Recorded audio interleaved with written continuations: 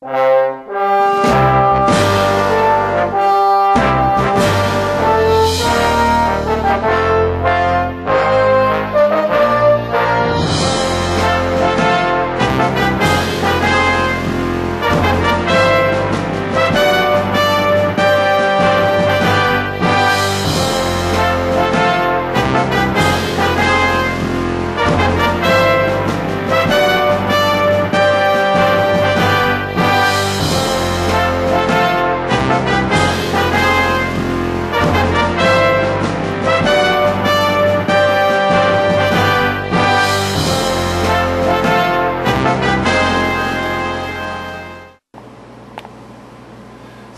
Salvete Discipuli, this is chapter 41, indirect statement. Indirect statement, a very important grammar construction in Latin which we do not have in English. But let me give you the English counterpart for this. He says that he, or let me change the he there because this is going to be a special uh, topic there. He says that Marcus, that's Marcus, he says that Marcus called his brother. I almost put frater there for brother, forgetting English. This would be an example of indirect statement in English direct statement would be Marcus, uh, he says, Marcus called his brother, in quotation marks. That would be a direct quotation. This is an indirect quotation, or what is called indirect discourse, or indirect statement, or it's called accusative with the infinitive. All of those labels refer to this construction. It's unique to classical Latin. It drops out later on in different centuries. You rarely see it in Latin Vulgate in the Bible. But in classical Latin, in the days of Cicero, Virgil, Livy, you definitely see the and Caesar. You definitely see this indirect discourse used in classical Latin. It in the main clause, you have a verb of saying, thinking, a verb of the emotions, feeling, and like that. So he says, dicit, putting it in Latin. Again, let the Romans use this, but recognize what's going on here. There is no word for that. We put it in English, but the Romans don't use it at all. Instead, they'll take the dependent clause here and make the subject accusative and make the direct object accusative, as it should be. But this here, this verb, will be an infinitive. The verb will be an infinitive. So you have dicit, Marcum, there's your subject accusative. Then we need an infinitive for called. I haven't explained the, um, let me make, let me do this. You have had the present infinitive, so let me make this present and not confuse you completely here. Calls his brother. Marcus says, excuse me, he says, could be, you know, Quintus. Uh, he says that Marcus calls his brother let's use a present infinitive, vocare. You could also use appellare. Marcum vocare, his brother, uh, frater. And you can use eius. You can use sum. Well, it would have to be it would have to be accusative, wouldn't I? Making it nominative. Okay, fratrem.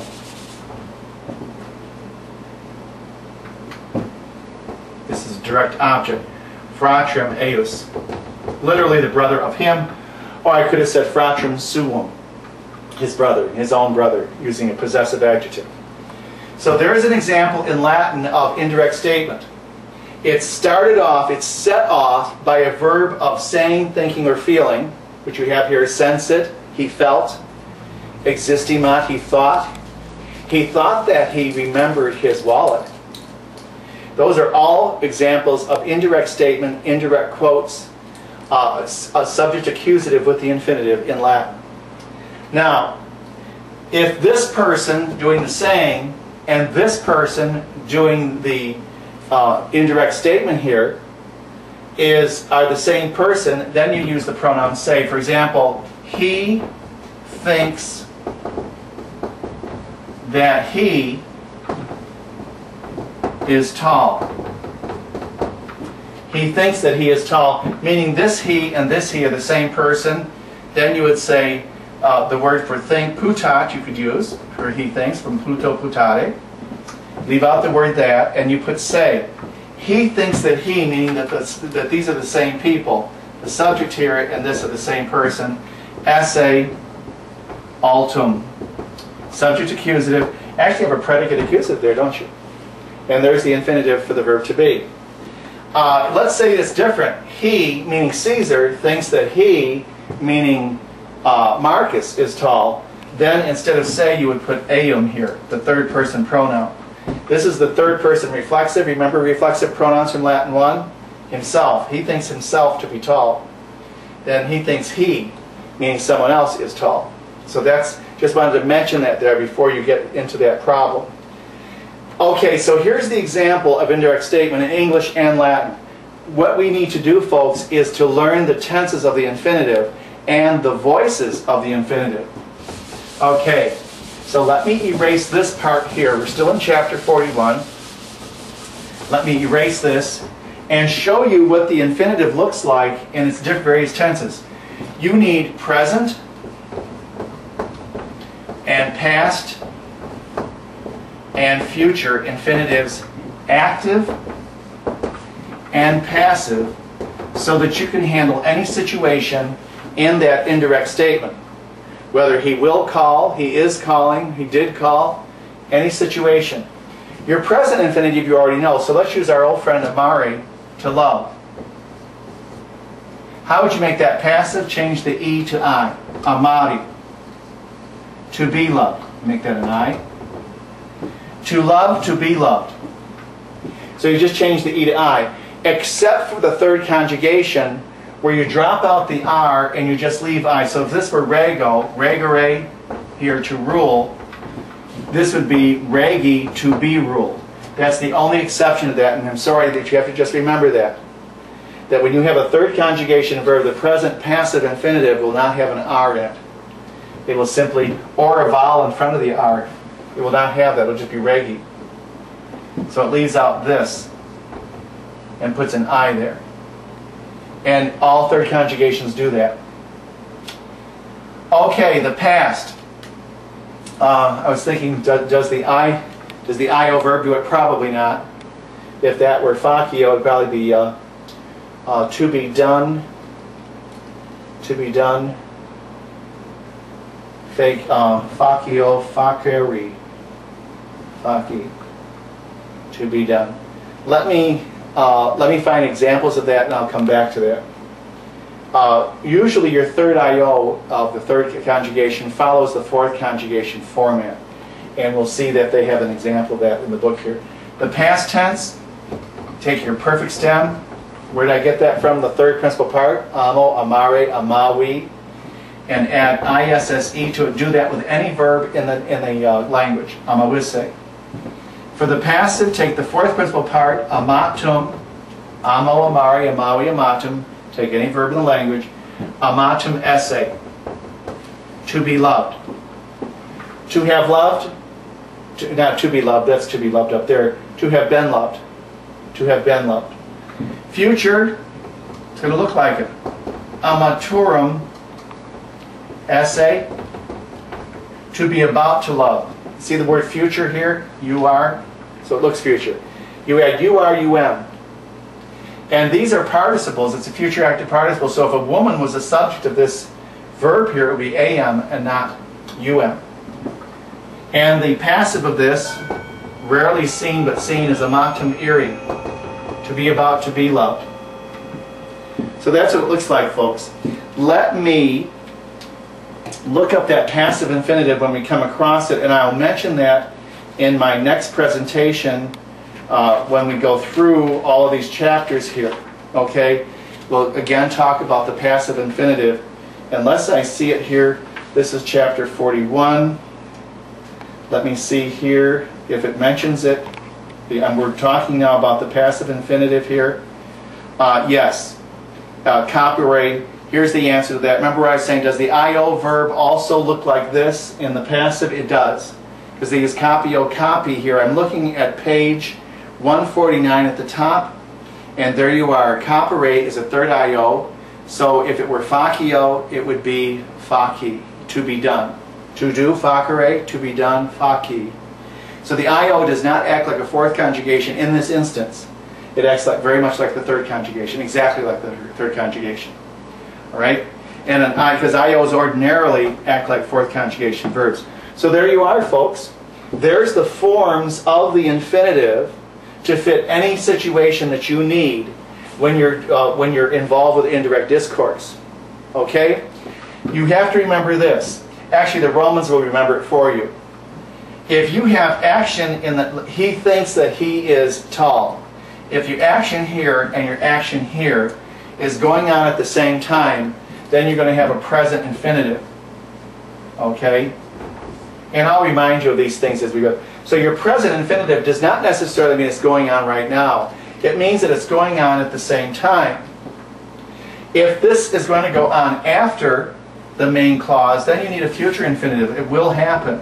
And that makes sense. It's just common sense. So if the action in here is going to take place after your main verb, the thinking, the feeling, saying, that's going to be a future infinitive. If it happens prior to the main verb, like it, it did happen, uh, he says that he called his brother, then, which is what I had up there in the first uh, instance, then you're going to have a past infinitive here. Okay? Let me review that just very quickly. If you're, uh, if in your indirect statement, okay, let me put it back up here again. Here's our forms of the infinitive. And these are just things you can look up. They're all listed for you there on page 149. But let's put an example. He feels he feels that his mother was killed. Say he had a dream. Okay? He feels. So sentit from sentio is he feels. We don't need a word for that. His mother, subject accusative. When we're in here, so it's going to be matrem, suam, his mother, was killed. Did this happen before he felt it? Yes. So this is action prior to the main verb. You need a past infinitive. If it's action before the main verb, a future infinitive, action at the same time as the main verb, main verb here, then you're going to get present infinitive. So we want a past passive here. So this is going to be killed. So necatam, necatam esse. There you are. Sentit matrem suum necatam esse he felt or feels, not felt, that'd be sensivit. He felt, feels that his mother was killed. Necatum esse. All right? And uh, my next lesson is going to be a wind-up lesson. I'm going to be talking about all the different things that were left out when I talked about the subjunctive and indirect statement. So we're going to finish up the course, and I'll just move through each chapter with you. This will be sort of like a chapter review coming up. Discipuli, multus gratias vobis ago.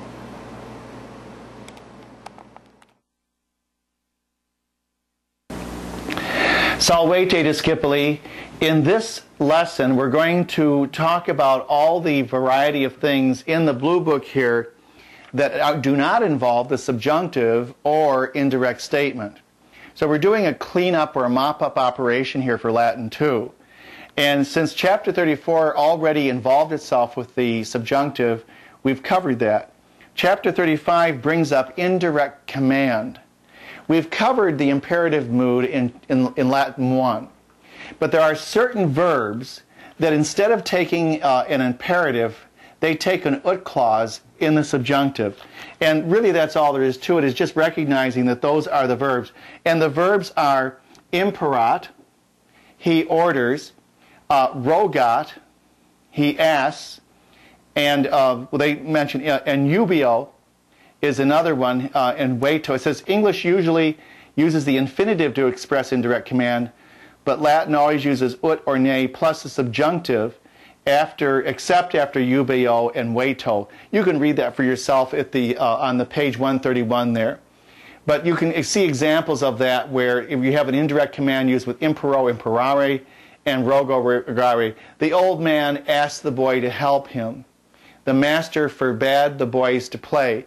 It's not an, a major piece of grammar. It's just that after the verb impero and rogo, you have an ut clause rather than an infinitive.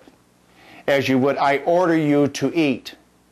Now, if you're using iubeo, you would use an infinitive. Iubeo etere. But if you're using impero, it would be impero, I order that you eat.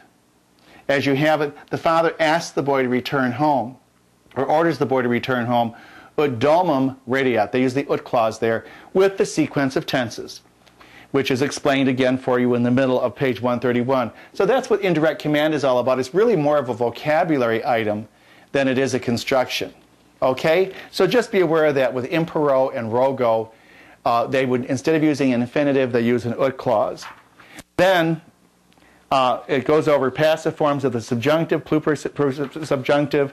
We've been over that. Chapter 36 on page 135, deponent verbs. Deponent verbs.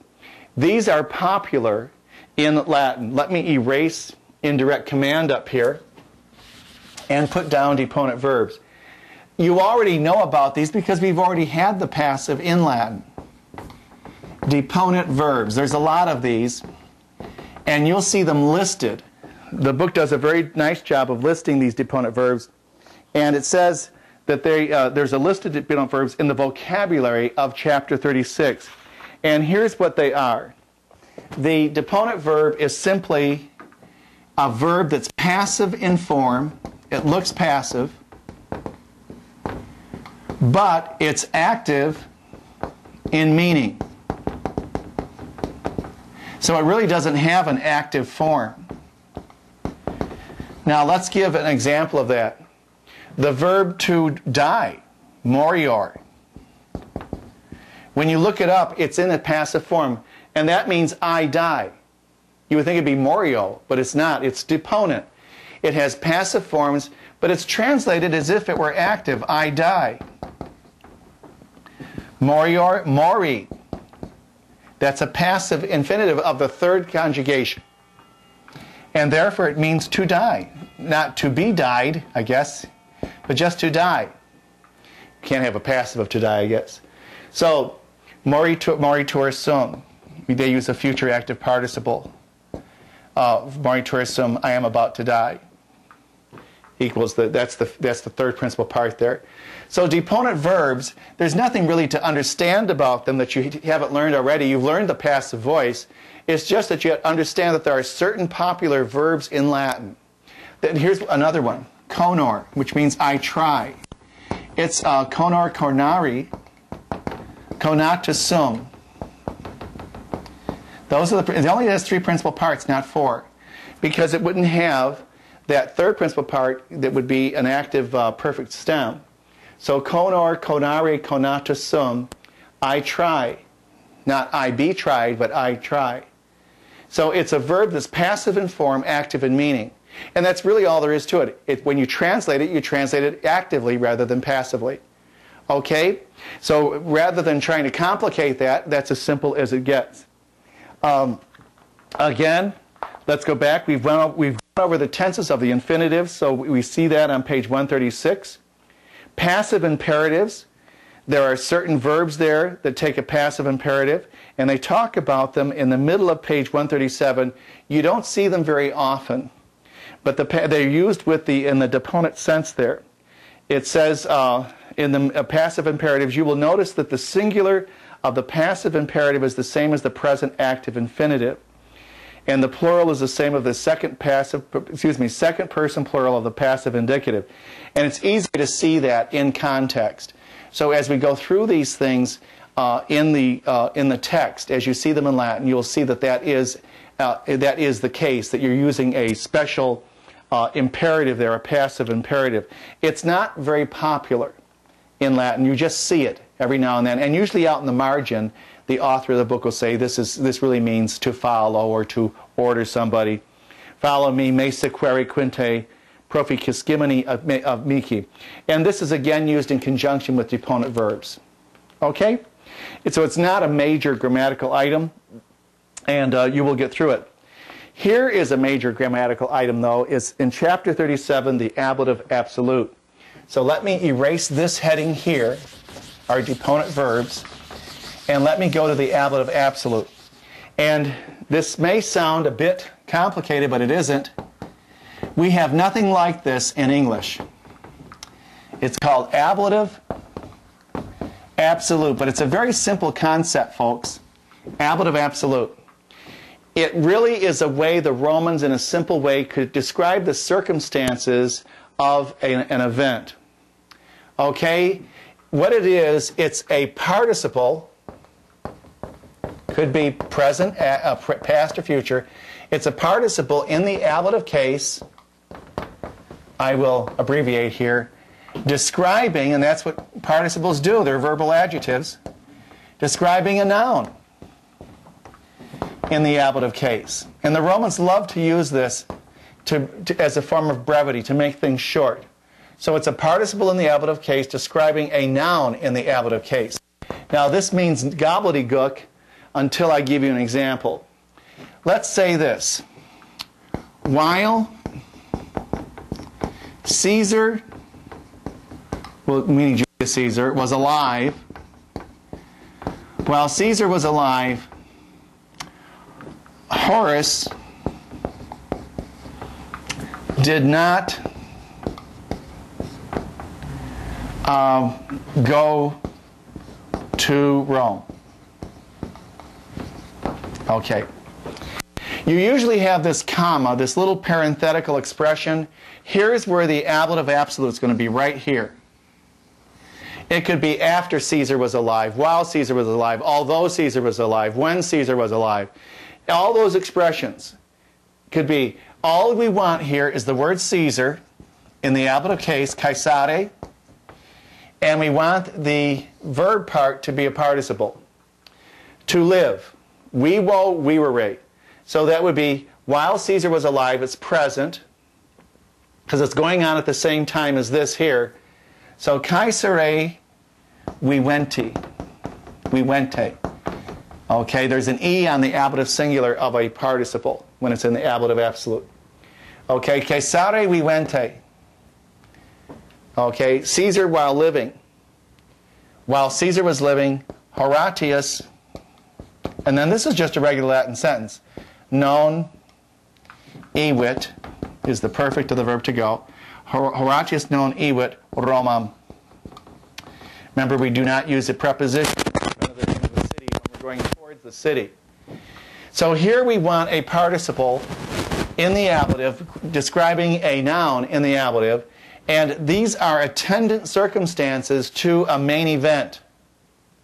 Okay, that's all an ablative absolute is. The Romans love to use it. We have nothing like it.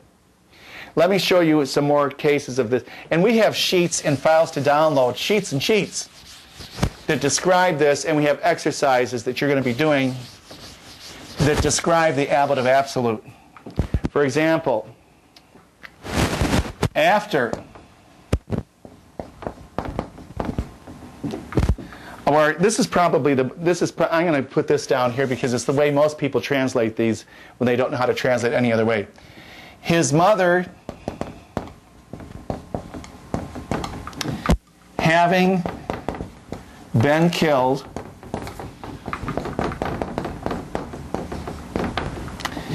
he returned home.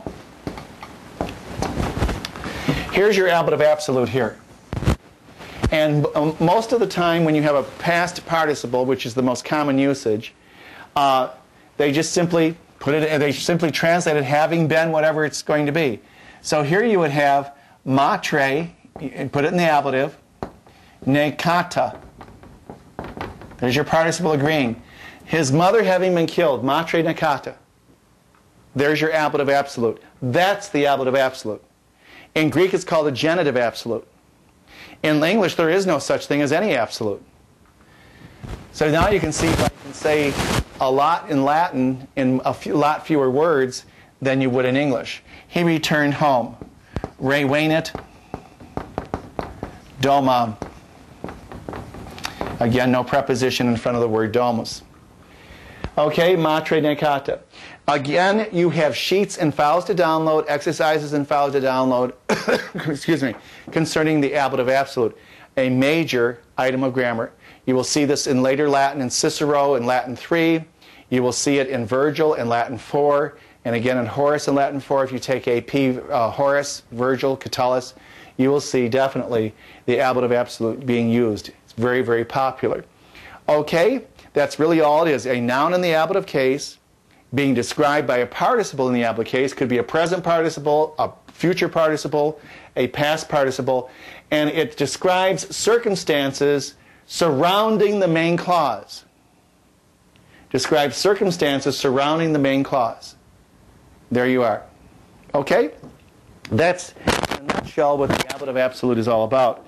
So that's chapter 37. I'm looking at chapter 38 where it says the future participle. We've been through the participles, but just to make sure that you are aware of, of the nature of the participles, let me just erase this again and just do a quick review. We have three participles in Latin. We have a present participle, we have a past participle, and we have a future participle. The present participle we learned earlier in January. The present participle is simply the present stem of the verb. Let's again, let's take our friend amo amare, and we add, we take the present stem ama and add ns, and we've got a third declension adjective, more or less. And then it's declined amans, amantis, amanti, right down to the third declension. And this ns and nt is the hallmark of the present participle. In English, it would be any ing word. Loving, the loving mother, the caring brother. Okay? The loving mother, amans mater. The past participle is simply the fourth principal part of the verb. Fourth principal part, so you can find that anywhere. And make it end in us, a, and um. That is, make it a first and second declension adjective. The loved mother, amata mater. First and second declension adjective. Now, the one they're introducing on this page, on page um, 143, or excuse me, not page 143, looking at the future participle here, that's on the bottom of page 141. I'm sorry. All you do to make the future participle is go to your fourth principal part, which would be amatus, take off the us, and put down you are us, amaturis. And again, this is going to be a first and second declension adjective. Amaturis aum the mother about to be loved, mater amatura. When the gladiators raised and saluted Caesar in the Colosseum, they said, Nos qui morituri sunt. We about, uh, sumus, excuse me, we about to die, salutamus te. We salute you. So, and we get the word future from that. There it is. You are, from the uh, verb to be, futurus. Okay? So there's your present, past, and future participles. And of course, you need your participles for ablative absolutes, which you went over in the previous chapter. So that's the future participle. Chapter 38. Chapter 39, indirect questions we went over. The subjunctive we went over. Sequence of tenses we went over. Uh, further uses of the ablative case on page 146. Uh, these are uses that you generally see, but again, if you can recognize the ablative as an ablative, uh, the, the label may not be that important. Okay? Then, uh, indirect statement we went over in chapter 41. Um, chapter 42, um, gone over that. It says that no, it introduces no new grammar. Chapter 43, result clauses. We went over result clauses with the subjunctive. Conditional clauses we went over uh, in chapter 44 with the, our, our lesson on the subjunctive. Um, we went over uses of subjunctive and main clauses in chapter 45. And chapter 46 is a review chapter. And in chapter 47, the uses of cum and dum, we went over very uh, quickly uh, in our subjunctive lesson. So there you are, folks. Uh, that finishes up right to uh, chapter 47, what we have to do in Latin 2 this year. Thank you very much. Multas gratias, vobis discipuli.